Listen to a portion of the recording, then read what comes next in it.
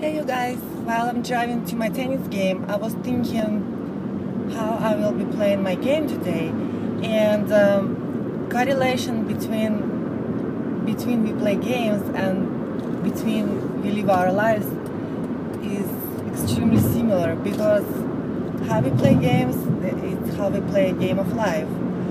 And uh, I've been thinking that I might not win all my shots in fact, I will lose a lot of shots, but I know that at the end I'm, I, I gave my best, and um, at the end I know that I was competing not with my opponents but with myself. I know that after my game, my version of myself is better than it was before my game. I do not compete with anyone, I just compete with myself. And the same applies to my life and to your life.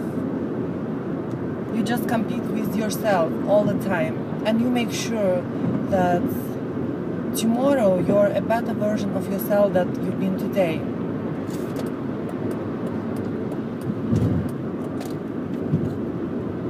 And so many people would tell me, oh, well, it's so easy for you to say Katrina, this and that and blah, blah, blah. And I still don't get it why people think that everything is so easy for me. My life was never been easy. However, I always make the best of what I have and what I'm capable of doing. And I always push my limits and I always make myself work harder. And in any situation, I just I use last ounce of my willpower to push myself even further and to work stronger.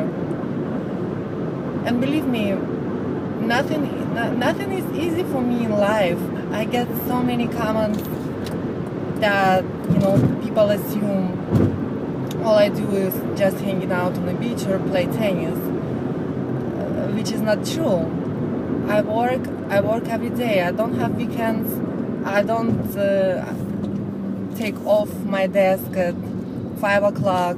I work. I constantly work, and uh, just recently, maybe in the past few months, I had a lot of def- defeats in my life. I lost a lot of money in my business, and I was so devastated. I didn't know what to do, and I was about to give up. But I knew that it's only a a setback, and as they say, setbacks are given to ordinary people to make them extraordinary, extraordinary.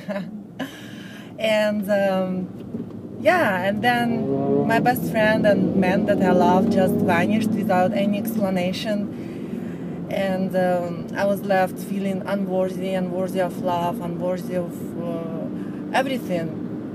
And I had to pick up myself and. Uh, get up every morning and just tell myself that's not about me.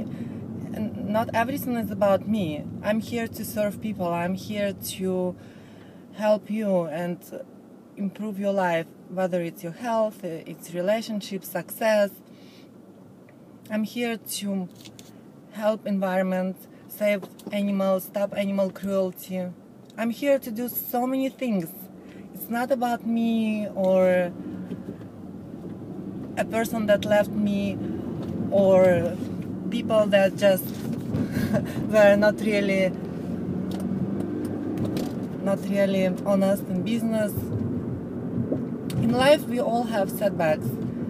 However if we play a game of life and we become we become best version of ourselves lives will never be the same again